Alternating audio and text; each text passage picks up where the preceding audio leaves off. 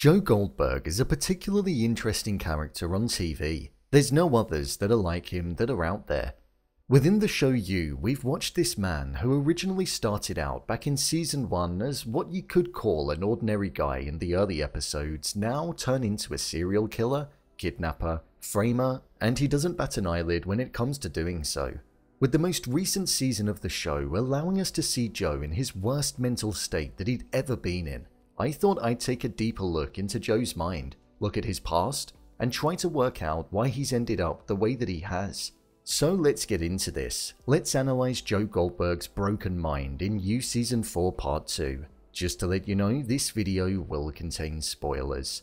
All of Joe's mental trauma and physical trauma is the subject of what occurred way back when he was a young boy. He came from a home where his mother and father weren't on the best of terms. His father was abusive towards his mother and himself, and his mother would often cheat on his father with multiple different people. When Joe was a young boy, we saw that one evening he protected his mother from being attacked by his father, and he ultimately ended up killing him.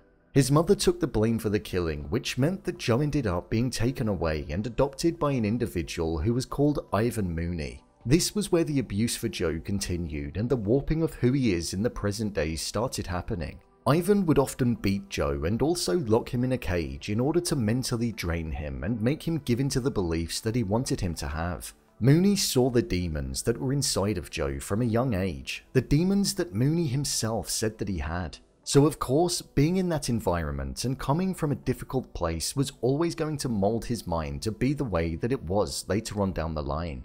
The cage that Joe uses in the present day on his victims is something that is molded off of the original one that he used to be kept in by Ivan Mooney, showing that it had a profound impact on him when he was younger. Ivan would tell Joe that he was doing it out of love, and I think that is a key thing to understand here. Joe believed that he was being punished and put in this cage out of love, something that he took with him and always did moving forward when it came to some of the people that he loved most, Beck and even Marienne. When there was a chance that they were going to leave him and cause that part of his life to be absent, he would put them in there so that he could be with them and ultimately try to get them to change their mind. But due to them not doing so, he would end up killing them, something that he was familiar with from a young age. However, it did differ slightly with Marienne. Joe has an obsession with every single woman that shows him the slightest bit of attention and interest. He gets infatuated with them, to the point where he'll kill for them whilst also justifying it as a way to kill for himself. Which ties back into what was said earlier. He kills the people that get in the way of ruining his chance of happiness and the love that's present. There was a scene in season 1 of the show where Joe was meeting with Dr. Nicky, and the perfect description of Joe was described and it ran true and became apparent in season 4 part 2 of the show. Dr. Nicky said, Some people have a hard time letting love in. Some people are built to love, and some people are searching. Searching for someone who can love them the way that they deserve, and that's you. Ever since Joe was a young boy, he's been looking for somebody to love him the way that he feels he deserves to be loved, something that he never found. His mother didn't, his father didn't, Ivan Mooney didn't, Beck didn't, Candace didn't, Marienne didn't, even Love didn't. She was a mirror of Joe at that present time. However, we saw that in the season 4 part 2 finale, Kate was in fact that person who could give Joe the version of love that he needed. Kate was prepared to love Joe no matter what his past was, putting all of those terrible things aside because she loved Joe for the person that she came to know. And this was because she also had a dark past as well and knew that it was difficult to find inner peace, with them both saying that they wanted to keep each other good and with Joe saying that was all that he ever longed to hear. It seems as though the void and actions that he carries out because the feeling of abandonment and being unloved from when he was younger has now been filled. But the love, burning possession and stalker emitting side isn't the only side of Joe's mind that is present. It would have been prior to this season, but with his mental state taking a deteriorating turn, there was the erotomania that was present within it, something that we hadn't seen before. Erotomania is a disorder when an individual believes that another person is directly speaking with them, and then they start to have delusions about being with them. This is something that we saw with Joe in the form of Rhys Montrose. He'd never met him before, but he believed that he was always with him and was a tangible human being that was present in the room. This was due to the book that Rhys had written and that Joe had read, which was called A Good Man in a Cruel World, something that Joe believed that he was.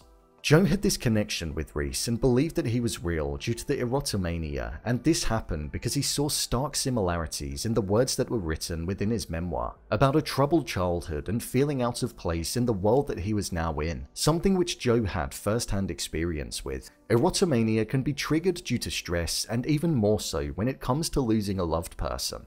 When we think about what happened with Joe prior to these delusions, he killed his wife Love, made out that he was dead, gave up the one thing in his life that he did love, which was his son Henry, followed Marienne around the world because he believed that she would love him, but in actual fact she didn't, and now he was living the life as somebody called Jonathan Moore. Stress was definitely present, and the loss of somebody that he loved was also present too. In a world where Joe found himself all alone and with nothing to keep him happy, he found the memoir, hence where his erotomaniac delusional state became present and took over his mind. With the obsession, murder, stalking, delusions, and many other negative traits of Joe Goldberg's mind, there is one part that is present within it that does show a sense of good within the character, and that is care. But care through empathetic reasons. These emotions and actions are never carried out towards a love interest. They're always present when it comes to somebody who's younger and going through a troubled time.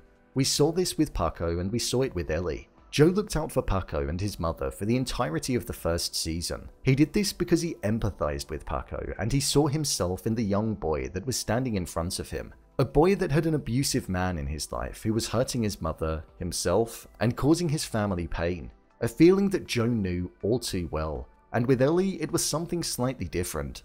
Ellie was all alone following the actions of what Love carried out due to her killing her sister, so there was a sense of responsibility that was there on Joe's shoulders, knowing how alone she was going to be, how vulnerable she would be, and how she was somebody who didn't deserve the trauma that she had presented in her life.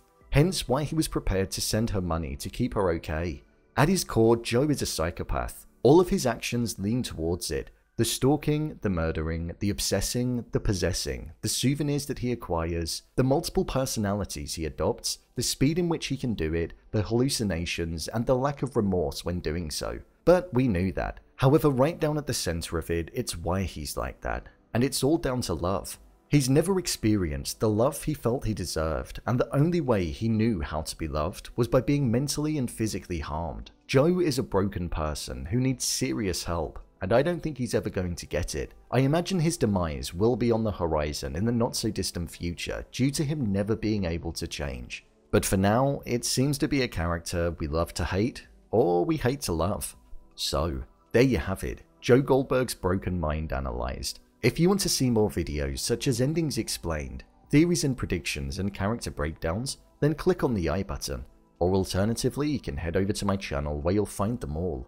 If you'd like to give me a show or movie that you'd like me to review, then head over to my Twitter, at brainpilot underscore, and tweet me what show or movie you'd like me to review next.